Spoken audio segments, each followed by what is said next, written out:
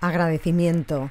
Es el sentimiento que ha llenado un año más el Paraninfo de la Universidad Politécnica de Valencia en el acto académico de entrega de la medalla 25 años de la UPV y de reconocimiento al personal jubilado durante el año 2015.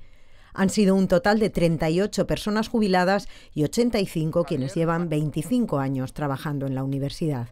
El coro UPV ha cantado el Beni Creator Spiritus, que ha marcado el inicio de este homenaje y reconocimiento al esfuerzo y dedicación de los trabajadores de la universidad. A todos ellos queremos agradecerles la encomiable labor que han desempeñado. Pero si además durante el ejercicio de esta profesión han puesto la ilusión y la energía que vosotros habéis sabido demostrar, entonces el trabajo realizado engrandece aún más la admiración colectiva. Como portavoz de los jubilados ha hablado Manuel López Pellicer, quien fuera defensor universitario de la UPV desde el año 2007 al 2015.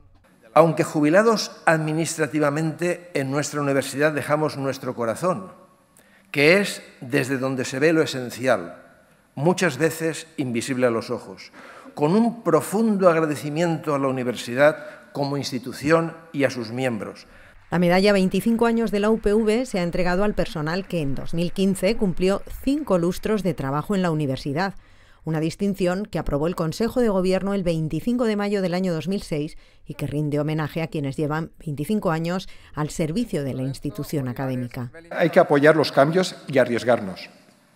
Pero como he dicho, el personal tiene que trabajar en un ambiente distendido y sentirse un miembro más de esta comunidad universitaria, sentir que aporta y, por supuesto, El Gaudeamus Igitur, himno universitario por excelencia, ha puesto el punto final a este acto académico.